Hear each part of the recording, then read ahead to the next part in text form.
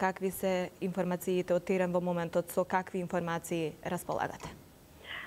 Да, Маја, за жал, значи до утринава до 8:30 часот добивме информација и официјално ја потврдуваме дека 22 лица се повредени во скопските клиники, починати лица 15 и пријавени се 6 исчезнати лица. Потврдувам, ова информација која што имаме добиено до 8 часот и 30 минути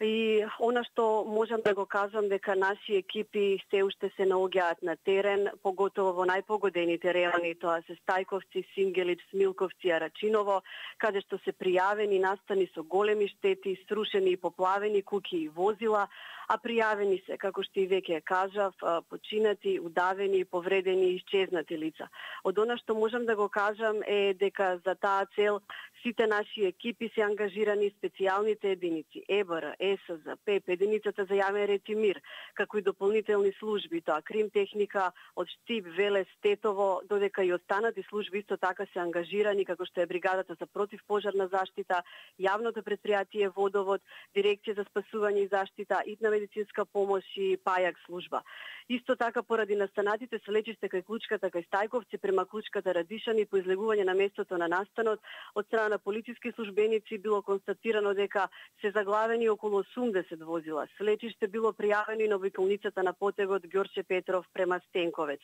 Ова се информациите со кои што до овој момент располагаме, како што веќе кажав, а, значи и за жал морам да ви потврдам дека до сега имаме пријавено 15 починати лица, 6 се водат за исчезнати и 22 лица повредени примени во скопските клиники до 8 часот и 30 минути. Со нови информации ќе бидеме во контакт и ќе бидете благовремено известени.